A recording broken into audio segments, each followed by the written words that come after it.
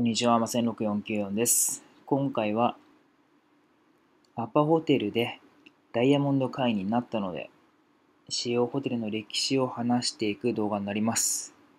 はい、ということで、あの、全国アパホテル巡りをしだしてから、えーしだしたのがいつだ？とりあえず記録的には、2019年11月26日から宿泊開始したんですけど、ダイヤモンド会員になったのが2021年の12月10日ですね、になりました。長かったのか長くなかったのかちょっとよくわかんないんですけど、まあ、とりあえず、えー、まあそんな感じになり、どんな感じでだよね。はい、なっております。で、ちなみに、何店舗だ ?3、4、5、6、7、8、9、10、11、12、13、13箇所、とりあえず回りましたね。あの、記録取らなかった、ミスった、間違えた、抜かして、プラス、あと同じところ何回も行ったこともあるので、まあ、そんな感じでございます。えー、っと、まあ、どこ行ったか、とりあえず、羅列していきましょうか。まず2019年の11月26日に、アポホテル宇都宮駅前店に行きました。そして2020年1月29日に、アポホテルの京成 D の成田駅前宿泊しました。ね、2020年2月25日は、アパホテル横浜鶴見に宿泊。2020年4月5日が、アパホテルの、えー郡山駅前ですね。2020年4月27日がアパホテルの新潟東中通りでよかったんだっけ。2020年8月17日にアパホテルの静岡駅北。2020年11月23日アパホテル山形駅前。2020年12月8日アパホテル前橋駅北。2020年12月23日アパホテル京都東。2021年3月19日アパホテル甲府南。2021年3月25日アパホテル町田東。2021年8月4日アパホテル富山駅前。2021年10月9日アパホテル群馬県高崎駅前。そして、えー2021年12月10日にダイヤモンド会員昇格といった流れになります。はい。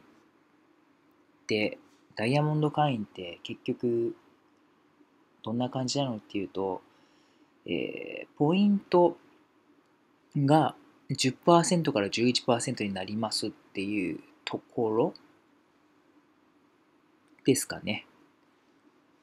と、有効期限がなった次の月の頭から次の年の、まあ、1年間有効で、そして、えーその1年間のうちに、まあ、どこか、まあ、例えば、まあ、私の場合は1月1日から12月31日までが有効期限なんですけど、2月15日に宿泊しましたアパホテルにってなると、2月15日から、えー次の年の2月14日までに有効期限が延びると、まあ、そういった感じになっております。なので、え1年以内のうちに行けばまた延長するっていう、そういった形なので、1年以内にアパホテルに泊まれば、まあ、ずっとダイヤモンド会員ですよっていう話ですね。で、まあ10%から11%ってさほどっていうイメージなんですけど、まあどれぐらいですかね。まあ1泊6000円だとしたら、今までがまあ600円割引されたのが660円割引になった、割引率になるっていう話なんですけど、まあ6000円だとしたらね。えーあとは、まあ、それが今6000円っていう話だけど、それが、まあ、積もりに募って、例えば、まあ、どれぐらいだろうね。10箇所ぐらい？まあ、9箇所、まあ、10箇所としようか。10箇所で、まあ、2泊することが多いので、まあ1万2000円だとしよう。1万2000円で、まあ、12万かかると年間で。で12万のところ、まあ、もともと前の割引率が1万2000円割引いたのが、えー、11%だから、1%、1200円。1万2000円。ちょっとよくわからなくなってきたな。とりあえず1%プラスになるということです。はい。そんな感じでございます。すげえわかりにくい話だけど。うん。あとなんだろう、特典って。俺ダイヤモンド会なんだぜっていうやつ。よくわかんないけど。何ポイントでダイヤモンドは1万ポイントだったっけな ?1 年間で。確か。1万ポイントだから、1ポイント、どんな感じだったっけ？忘れちゃった。100円で1ポイントだったっけ？っていうことは10万かな ?10 万使うとっていう話ですよね。まあまあ、普通にアパホテルは利用するので、まあ、基本的にあのアパホテル使ってでもしそこの行きたいなって思ったところの近くにアパホテルがなければ、えーまあ、ルートインとか、まあ、ルートインかルートインも近くなかったら駅近くにあるホテルみたいなそんな形で、まあ、使い分けてるんですけど、まあ、意外とまあ、まあまあの確率であるんで、ありがたいんですけど、ない場所もあって、例えば山梨県とかね、山梨市駅にあるアパホテルがないんで、えールートインに山梨に行くときは泊まってますね。えーっと、甲府駅の近くの甲府南アパホテルだったっけな、そこって結構遠くて、あの、甲府駅から、まあ、普通甲府駅から行く人いないんですけど、一回行った時に行ったんですけど、のスーツケース転がしながら死にそうになりましたね。で、もともと甲府駅から、えー何線だったっけな？美濃部線に行って、えー甲府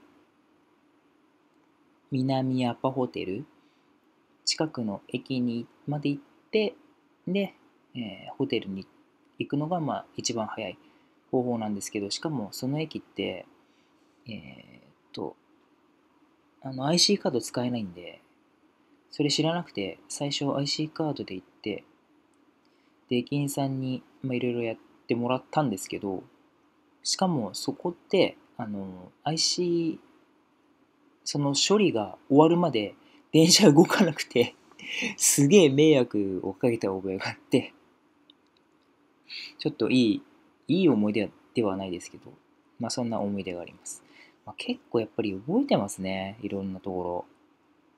だったっけな。えー、っと宇都宮まあ宇都宮駅前は結構行ってるんでまあ、最初に行ったのが、あ、餃子フェス、フェスというか、あの、ミンミンさんとかね、食べてきましたね。懐かしいな。京成成田駅。これは、何だったっけな？まあ、御朱印か。御朱印関連が多かったのかな。うん。あとは、横浜鶴見。うん。あ結構、てか、だいぶ、あ、郡山駅前に行ったんですけど、これいつだったっけな郡山だから、4月5日。あ、でもこんな感じだったっけ？もっと前だった気がす。なんか雪降ってたんだよな。そんな日付？ちょっと、それちょっと、新潟とかね。新潟いいね。静岡駅来た。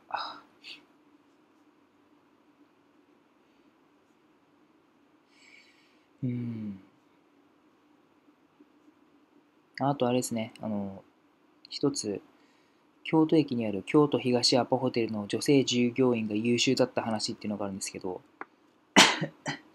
この、あの、ダイヤモンド会員になれたのは、この時の女の従業員のおかげという話ですね。えー、この方がアプリ、ここまでアプリ取ってなくて、しかもアプリと,、えーと、パソコン上で両方ともやってたんで、ポイントがなんかごっちゃになってたんですね。で、合わせた方がいいっすよって話になって、まあ、そんな言い方じゃないですよ。もっとすごく丁寧な あの、ことで、全然分かってなかったんですけど、アプリってどうやればいいんですかね？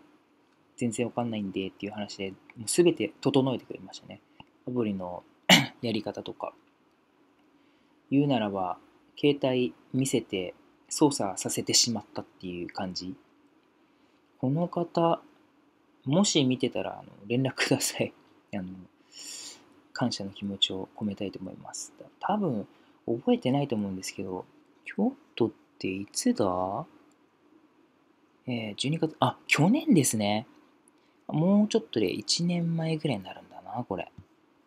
京都東アパホテル結構行ってる、行ってたな、一時期っていう感じですね。あのこの方のおかげであのダイヤモンド会になることができました。ポイント、それまでが5%割引してましたね、ポイント貯めないで。うん難しいですね。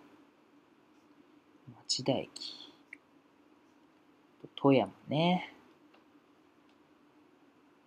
まあそんな感じでございます。まあ今後どうするかって言っても、まあダイヤモンド会員が一番上なんで、まあなんともなんですけど、まあ、意外とあの、再生リストっていうか、あんま自分の前の動画とか見ないんですけど、アポホテルの再生回数微妙にビビたるもので、ずっと伸びてるので あやっぱり宿泊する方とか、まあ、ちょこちょこがここ泊まりたいけどなんか動画ないかなっていう方とか見てくださってるのかなと思いますね。うんあちょっと思ったのがアパホテルであの領収書毎回もらってるんですけど一時期からあの領収書を自分でプリントアウトして発行できますっていう言い回しになりまして、え？って感じになって、いや違くて、今欲しいんだけど、っていうか自分でメールからプリントアウトしてプリントするのクソめんどくさいんだけど。っていうところなんですよね。なので、あの、ダイヤモンド会員になったということで、まあ、まあ、ちゃんと言うと1月からダイヤモンド会員なんで、まだダイヤモンド会員ではないんですけど、もうなるんで、あの、一言、ダイヤモンド会員の人間として言うならば、領収書普通に発行してもらえますかね あの、プリントアウト、まあ確かに、もらった、その領収書をもらった、一回もらいました。もらった後に紛失した際に、そのプリントアウトで領収書を発行するっていうそういったやり方であればすごくありがたい話なんだけどあの前提的に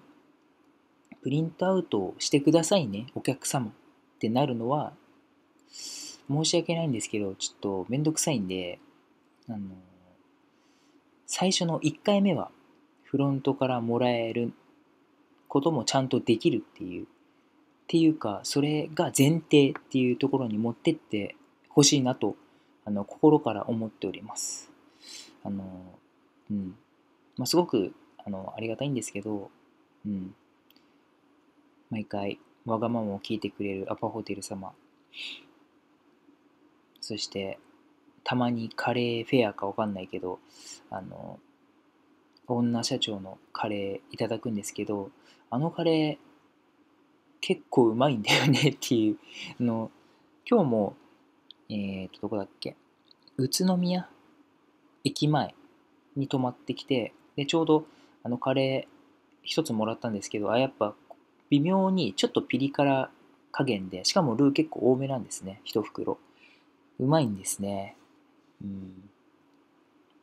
なので、まあそういったカレーとかですね、あと、連泊だと水サービスみたいな。っていうか、連泊じゃなくても水はもらえるのか。あ、連泊じゃないと水もらえないのかな意外とその水とかって、あの、寝る前とか、すごく便利で、家に持ち帰った時とか、すごく枕元に置いて飲んでます。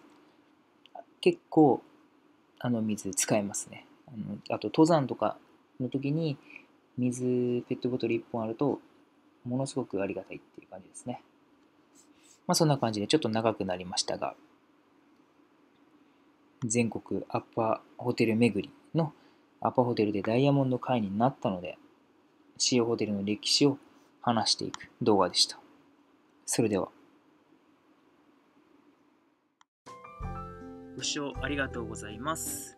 この YouTube 動画では雑談、音楽配信、ゲーム配信を主にやっております。